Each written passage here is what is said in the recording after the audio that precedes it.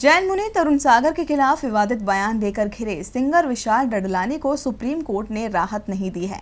मामले में सुनवाई करते हुए सुप्रीम कोर्ट ने डडलानी की गिरफ्तारी पर रोक लगाने से इनकार कर दिया है। सुप्रीम कोर्ट ने कहा कि वह इस केस में हाई कोर्ट जाएँ। दरअसल डडलानी ने सुप्रीम कोर्ट में अर्जी लगाई थी और एफआईआर रद्द करने और गिरफ्तारी पर रोक लगाने की मांग की थी। आज कोर्ट में विशाल की ओर से कहा गया कि उनके खिलाफ एफआईआर दर्ज हो चुकी है और देश भर में पुलिस शिकायतें दर्ज हो रही हैं। ये उनके खिलाफ राजनीतिक साजिश है। उन्हें डर है कि पुलिस की कुशारदा की तरह उन्हें गिरफ़्तार कर सकती है।